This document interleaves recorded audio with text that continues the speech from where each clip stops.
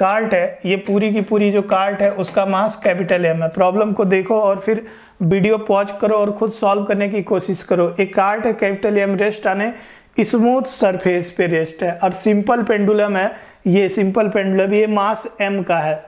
इधर string break अगर string एक ब्रेक होती है तो ये बहुत सारा कोलिजन करता है। और फाइनली यहाँ जो होल है ये होल है, वो इसमें गिर जाएगा। Made in the flow distance between the string and the slot ये जो स्लॉट है, यहाँ जो होल है, वो एल डिस्टेंस से दिया हुआ ऐसा न्यूमेरिकल में कह रहा है। बच्चों तो ये एल ऐसा दिया हुआ है, ये वाली डिस्टेंस एल है। और ये स्मूथ सरफेस पे है। Find the displacement of the card during this position अगर ये कोलिजन यहाँ से टूट जाता है और ये बहुत बार कोलिजन करता है और फाइनली ये यहाँ से बॉल गिर जाता है तो कार्ट किधर गया होगा, कितने से गया होगा, उसको हमें डिस्प्लेसमेंट निकालना है।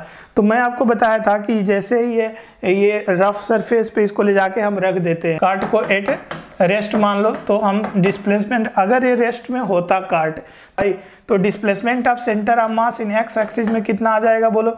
कार्ट में रेस्ट में चला गया ब्लो, ये जो यहाँ से टूटा है, ये यहाँ से टूटा है सॉरी ये डिस्टेंस एल है स्ट्रिंग से।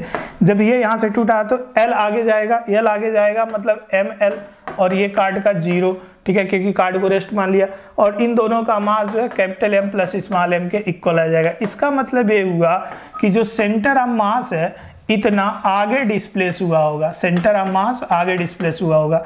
तो कार्ट इतना ही पीछे डिस्प्लेस हुआ होगा। The cart will move in this direction ठीक है this is the displacement of the cart क्योंकि ये पॉजिटिव है तो डिस्प्लेसमेंट ऑफ़ कार्ड जो आ जाएगा, वो माइनस एम एल और ये capital M plus small M के इक्वल आ जाएगा। This is the final displacement ये कार्ट इधर जाएगा, ठीक है